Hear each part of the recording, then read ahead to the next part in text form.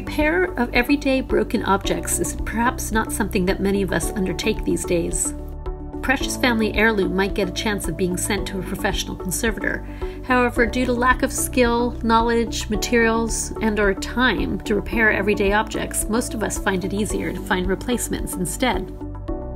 Museum objects often bear historical evidence of having been broken as well as having been repaired. Historic repairs are important in understanding objects. They form part of an object's intrinsic identity and history. We can learn how techniques of repair have evolved, reflecting various geographical locations and periods of time.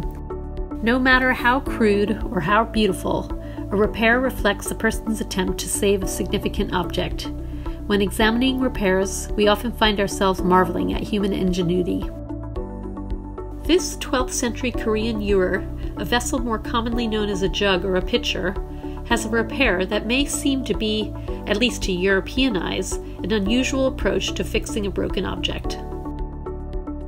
The gold you can see at the top and sides of the handle has not been applied for decoration in its pure sense, but as a repair, known as kintsugi.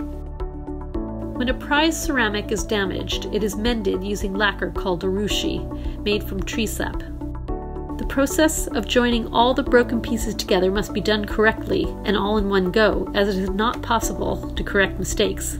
The resin is left to harden for a few weeks before then being sanded down. The repair is embellished with gold or silver metal foil. Gold is usually preferred as it doesn't tarnish and it doesn't taint food.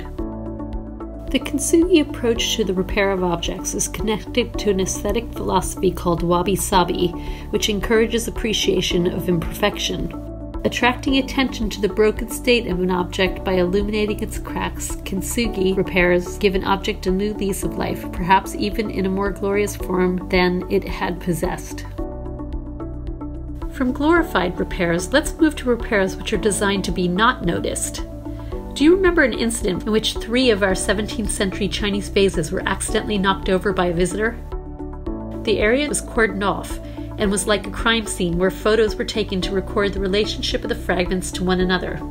The flagstones of the floor were given numbers, and all fragments were collected in a very strict and systematic way into 24 trays. The task of reassembling these vases was undertaken by Penny Bendall, a ceramics conservator contracted by the museum to work solely on this project. It took seven months to complete. In this instance, the aim of Penny's work was to repair the vases in such a way that the damage would not generally be noticeable, but also to not hide the damage, nor to over restore and falsify the object. All of the fragments had to be cleaned thoroughly, especially around the broken edges, so that when reassembled and reattached with adhesive, the join lines would not draw attention. If you look closely, the fragment joins and filled in areas are visible, but from a distance it is quite difficult to tell that these vases were once smashed into hundreds of pieces. In both examples, precious ceramics have been broken but preserved, yet the approaches are different. Which do you prefer? Should a repair hide itself? Or should the object bear its scars with pride?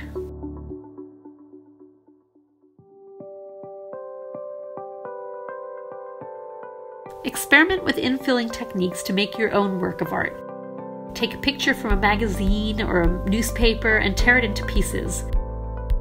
Reassemble the pieces on a sheet of colored paper or card so that the background color shows along the cracks.